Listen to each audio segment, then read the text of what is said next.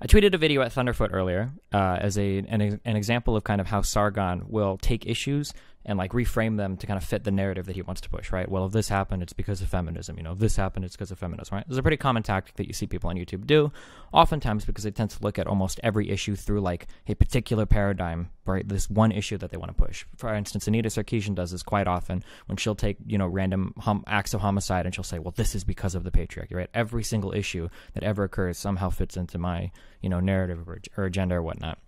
I think it's kind of interesting that Sargon made this video as a response to me because I think it showcases some of the classical um, kind of kind of uh, shortcomings that he has in terms of you know breaking down, dissecting arguments, and then putting forth valid arguments. So let's just kind of we'll, we'll, just kind of watch um, like a minute of this just to kind of understand what's going on. So the saltiest man in the universe has come out in defense of Thunderfoot, which is nice. So what's he linked here? Let's have a look. And no, it's not all men who act this way, but you know what? It's way too f***ing many. Okay, it reminds me why I didn't like Laci Green. Which is ironic considering that before your stupid social justice feminine bullshit, it didn't happen on this scale. It's crazy. This is a disease of the modern age. You are responsible for perpetuating it by disenfranchising these poor fucking guys who don't have any options left. When someone takes the option of absolute, insanely last resort, you have to wonder what kind of system is producing them. And I tell you what, Laci, it is a fucking feminist system that's doing Okay, so I think at this point, what we're talking about here is Elliot Rogers. I don't think I said at the beginning. So Sargon is kind of making the claim. I think it's a fair summary to say that Sargon is making the claim that somehow feminism has created a system that is producing men that are homicidal maniacs. I guess is the argument that Sargon is making. So we'll ignore the fact that men have historically always been typically the perpetuators of violence and, and whatever other bullshit. I don't even I don't even care about that, right? So what I would expect to see now in this three and a half minute video is Sargon is going to be making the argument that well, actually, Steven, feminism does produce a system of men that are more prone to being homicidal maniacs.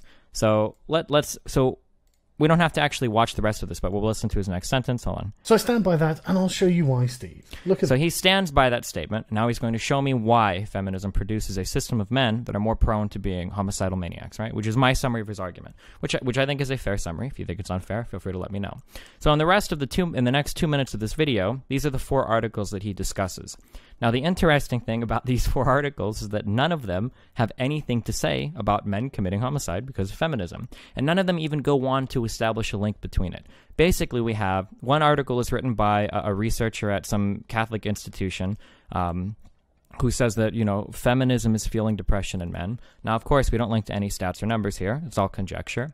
The next thing we have is an article in the Telegraph that is saying that society is contributing to making people more depressed. I mean, I would believe that. You know, I don't, I don't understand how biology would lead people to become depressed. It seems to be a disease of the modern era, if you will. The um, next article is about unique problems that men face in society, right? Um, you know, disproportionate prison time, uh, problems with employment, you know, dying on the job, education, homelessness is a predominantly male problem, right? These are valid issues, of course. And then um, apparently was a men's rights or, or a men's um, a men's international men's day or something was canceled at a university. And I did a quick search on this, and it looks like this did happen, which is you know pretty bad. So in looking at all four of these articles, so half of these, or at least this first article, is kind of conjecture. Um, the second one talks about how society contributes to depression, and then the um, third one talks about unequal issues that men and women face. I don't disagree with any of these issues, and I don't think I've ever said that I disagree with any of these issues.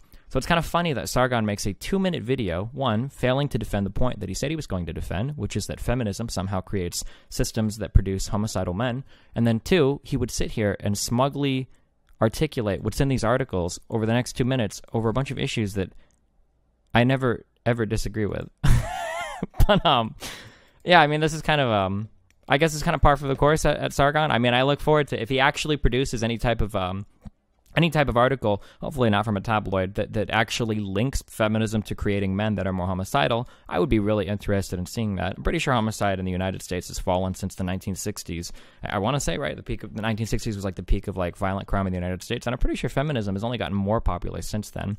Um, as a separate aside, I've watched most of the Elliot Rogers videos. I think I want to say he released four or five long form ones on his YouTube, and we watched all of them. And none of these videos have anything to do with feminism. The guy is very clearly mentally disturbed. Um, possibly somewhere on the uh, ASD, autistic.